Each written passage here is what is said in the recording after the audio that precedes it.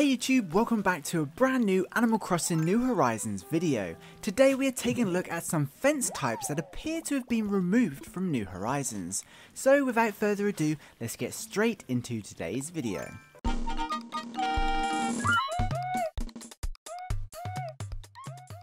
So as I'm sure you know by now, whether you've played Animal Crossing New Horizons yet or not, a huge feature added to the game is fences. Fences are a kind of half tool, half furniture item that we can literally use to build all kinds of different fences pretty much anywhere around our islands.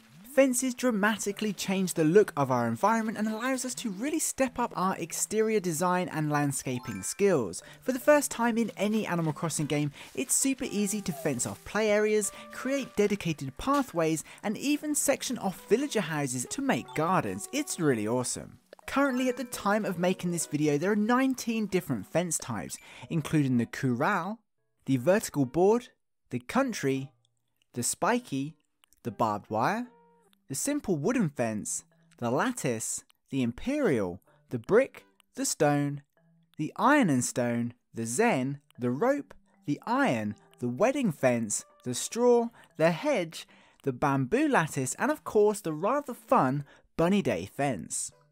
All these fence types can of course be used to build fences and at least three of them have been added in updates since the release of New Horizons and I'm pretty sure even more will be in the future. For example, we'll probably get a Halloween themed one in October.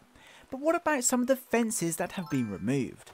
Well, it seems that at least three fences or fence types have been removed from New Horizons. Of course, we'll use the term removed very loosely, as I guess there's a chance they'll be made available in the future, but more on that later.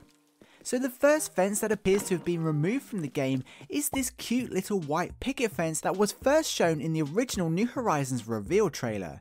As you know, since we just went through all the fence types, this no longer exists in the game and as far as we know cannot be obtained. There's a couple of possibilities with what's happened here though. The first is that the white picket fence shown in the trailer was in fact the simple wooden fence given they're both identical, but without its texture. This is completely feasible given the trailer gameplay was recorded with a demo version.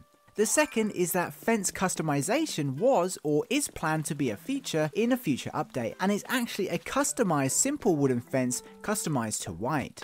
Or it was its own fence type and was simply removed. But what do you think is the reason we cannot find this fence in New Horizons? Let us know your thoughts in the comments. Moving on, the second fence that has seemingly been removed is the creamy white lattice fence, which can be seen in this promotional artwork from the Animal Crossing website. You can see it just behind Julian across the back of the artwork and along the cliff top to the right. Again, for some reason, despite it being in the game long enough to create some promotional material with it, this fence simply doesn't exist in New Horizons anymore. Much in the same way as the white picket fence, there's a few reasons why.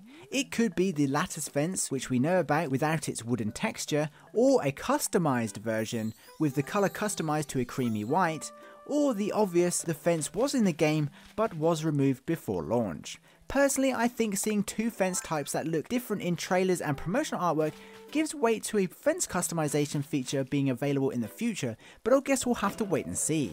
The final fence that cannot be found anywhere in New Horizons is this fence, which we'll call the wooden rail fence. This is of course another promotional piece of artwork which can be found on the Animal Crossing website. Unfortunately this particular fence hasn't been seen in any gameplay as far as I know, but clearly the fence model exists and is familiar enough to the developers and artists to feature it in some promotional material. So unlike the first two fences, the wooden rail fence has been removed altogether without a trace.